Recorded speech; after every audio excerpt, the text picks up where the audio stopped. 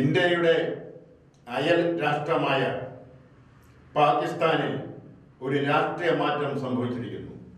ഭരണ മാറ്റം സംഭവിച്ചിരിക്കുന്നു. നിലവിലുണ്ടായിരുന്ന പ്രധാനമന്ത്രി ഇമ്രാൻഖാനെ ഒരു വിശ്വാസ വോട്ടെടുപ്പിലൂടെ പരാജയപ്പെടുത്തിക്കൊണ്ട് ഷവാസ് എന്ന പുതിയ പ്രധാനമന്ത്രി അധികാരമേറ്റിരിക്കുന്നു.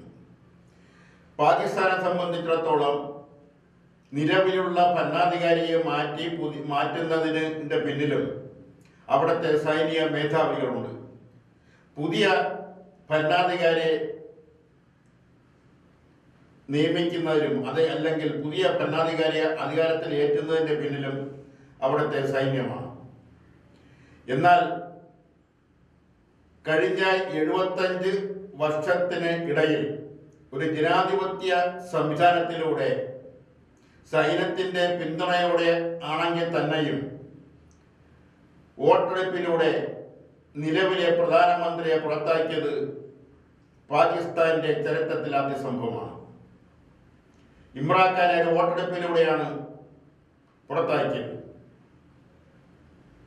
പുതിയ ഷവാസ് പ്രധാനമന്ത്രി ആയതിന്റെ പിന്നിലും സൈന്യം തന്നെയാണ്. പാകിസ്ഥാന്റെ ചരിത്രത്തിൽ ആദ്യമായിട്ട് ജനാധിപത്യ സംവിധാനം പരിമിതിക്ക് അകത്ത് നിന്നുകൊണ്ടാണെങ്കിൽ തന്നെയും ജനാധിപത്യ സംവിധാനത്തിലൂടെയാണ് പുതിയ പ്രധാനമന്ത്രിയെ അധികാരത്തിൽ വരുത്തിയതെന്ന് പറയാനാവും ഒരിക്കൽ പോലും പാകിസ്ഥാനിൽ ഒരു പ്രധാനമന്ത്രിക്കും അഞ്ച് വർഷം കാലാവധി പൂർത്തിയാക്കാൻ കഴിഞ്ഞിട്ടില്ല. അതിനു മുമ്പ് തന്നെ സൈനിക അട്ടിമറിയിലൂടെ അല്ലെങ്കിൽ സൈന്യത്തിന്റെ നീക്കത്തിലൂടെ ഭരണം നഷ്ടപ്പെടുകയും പുതിയ ഭരണാധികാരികളെ അധികാരത്തിൽ കൊണ്ടുവരികയുമാണ് പാകിസ്ഥാനിൽ നാളിതുവരെ ചെയ്തിട്ടുള്ളത്. ഇന്ത്യ സ്വതന്ത്രമായ അതേ ദിവസം തന്നെയാണ് ഇന്ത്യയിൽ നിന്ന് പാകിസ്ഥാൻ വേർപെട്ടു പോയി പുതിയ രാഷ്ട്രമായി പ്രഖ്യാപിച്ചത്.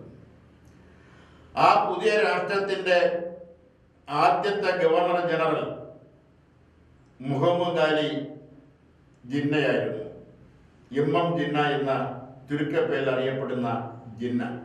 അദ്ദേഹം ഒരു വർഷമേ ജീവിച്ചിരുന്നുള്ളൂ. അതായത് പാകിസ്ഥാന്റെ രൂപീകരണത്തിൽ പ്രധാനപ്പെട്ട പങ്ക് വഹിച്ച പാകിസ്ഥാന്റെ പ്രഥമ ഭരണാധികാരി എന്നറിയപ്പെടുന്ന ജിന്ന നാൽപ്പത്തേഴ് സ്വാതന്ത്ര്യം കിട്ടിയ അവിടെ മുതൽ ഒരു വർഷം ഒരു വർഷം തികയുന്നതിന് മുമ്പ് തന്നെ അദ്ദേഹം മരണപ്പെട്ടു. അതിനുശേഷം വന്ന എല്ലാ ഭരണാധികാരികളെയും പട്ടാളത്തിന്റെ പിൻബലത്തോടു കൂടിയാണ് പുറത്താക്കിയതും പുതിയ ഭരണാധികാരികളെ സൃഷ്ടിച്ചതും പട്ടാളത്തിന്റെ പിന്തുണയോടെയാണ്. ഇപ്പോൾ പുതിയ ഭരണാധികാരിയെ അധികാരത്തിൽ ഏറ്റി ഏറ്റിയതിന്റെ പിന്നിലും പട്ടാളം തന്നെയാണ്. ഇന്ത്യയിൽ നിന്നും പാകിസ്ഥാൻ വേർപെട്ടു പോയ ആ അവസ്ഥ ആ അവസ്ഥയിൽ നിന്നും ഇന്ത്യയെ ഒരുമിച്ച് നിർത്തുന്നതിനുള്ള ശ്രമങ്ങൾ ഫലിക്കാതെ പോയപ്പോഴാണ് പാകിസ്ഥാൻ വേർപെട്ടു പോകുന്ന ഒരു രാഷ്ട്രീയ സാഹചര്യം സംജാതമായത്. എന്നാൽ ഇന്ത്യയ്ക്ക് സ്വാതന്ത്ര്യം കിട്ടിയതിന് ശേഷം ലക്ഷക്കണക്കിന് മനുഷ്യരാണ് ഇന്ത്യയും പാകിസ്ഥാനും രണ്ടായി വിഭജിച്ചപ്പോൾ നഷ്ട മനുഷ്യരുടെ ജീവനാണ് നഷ്ടപ്പെട്ടത്. അത് പാകിസ്ഥാനിലായാലും ഇന്ത്യയിലായാലും. അന്ന് ബീഹാറിലും പഞ്ചാബിലും നടന്നിട്ടുള്ള കൂട്ടക്കൊലകൾ പാകിസ്ഥാനിൽ നടന്നിട്ടുള്ള കൂട്ടക്കൊലകൾ ഇതിന്റെ എല്ലാം കണക്കെടുത്താൽ ലക്ഷങ്ങൾ ലക്ഷങ്ങൾ വരും.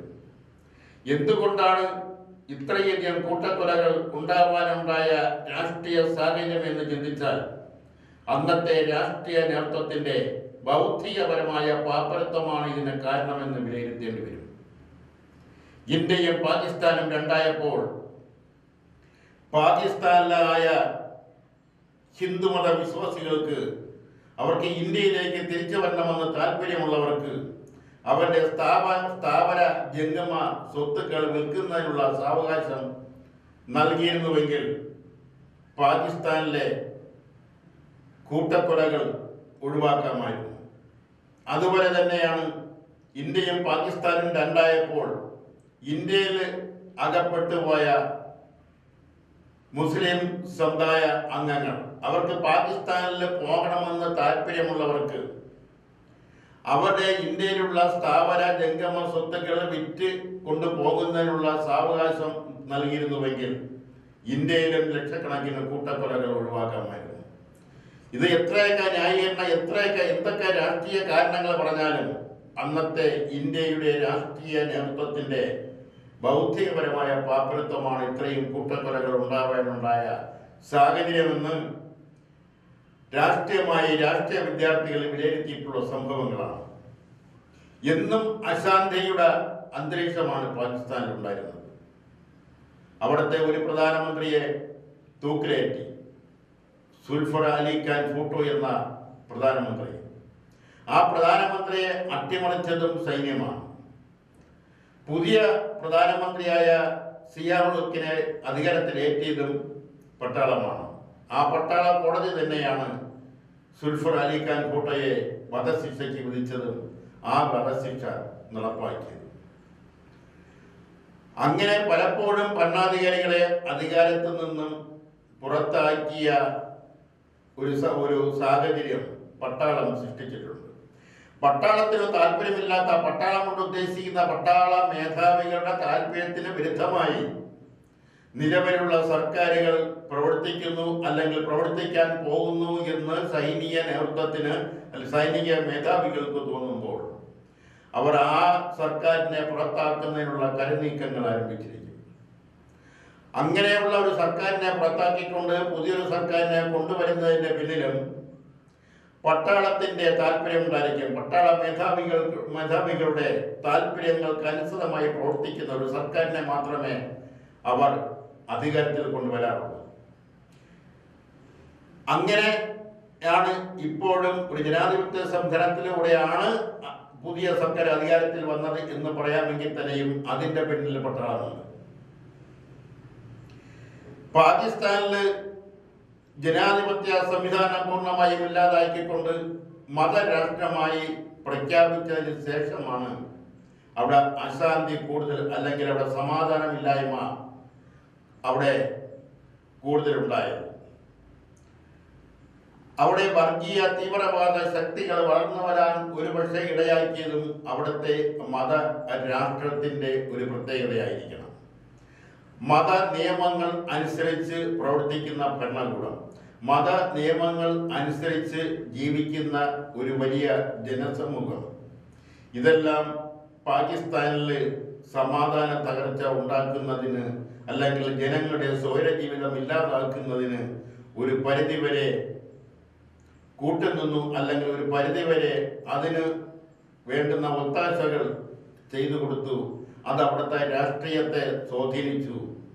ആ രാഷ്ട്രീയത്തിന്റെ സ്വാധീനത്തിന്റെ ഫലമായിട്ടാണ് അവിടെ തീവ്രവാദം വളരാനും അവിടെ സമാധാന തകർച്ച ഉണ്ടാവാനും ജനങ്ങളുടെ സൗര ജീവിതത്തിന് എന്നും ഭീഷണി ഇന്നും ഭീഷണി നിലനിൽക്കുന്നതൊക്കെ എന്റെ പിന്നിൽ ഒരുപക്ഷെ അതൊരു മതരാഷ്ട്രമായതുകൊണ്ടാവാം ഇപ്പോഴും ആ നി- കീഴിൽ തണലിൽ തന്നെയാണ് അവിടുത്തെ ഭരണം നടക്കുന്നത്.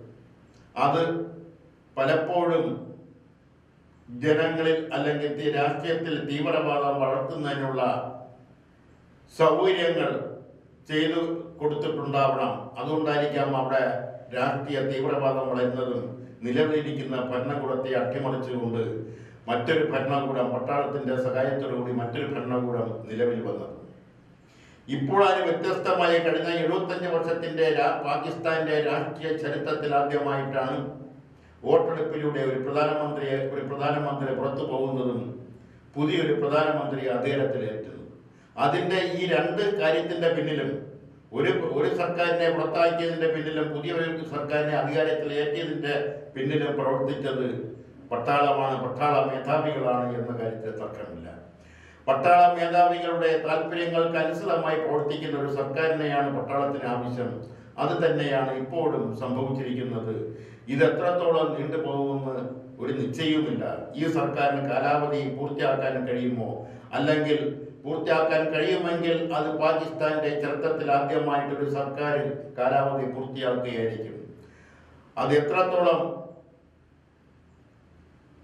പൂർത്തിയാക്കാൻ കഴിയും? അല്ലെങ്കിൽ ഈ സർക്കാരിന് എത്ര വർഷം അധികാരത്തിൽ ഇരിക്കാൻ കഴിയും? അഞ്ച് വർഷക്കാലം ഇരിക്കാൻ കഴിയൂ എന്നുള്ളതൊക്കെ ലോകത്തെ രാഷ്ട്രീയ നിരീക്ഷകർ നോക്കിക്കൊണ്ടിരിക്കുന്ന അല്ലെ കണ്ടുകൊണ്ടിരിക്കുന്ന കാഴ്ചയായി മാറും. അതങ്ങനെ തന്നെ ആവാനാണ് സാധ്യത.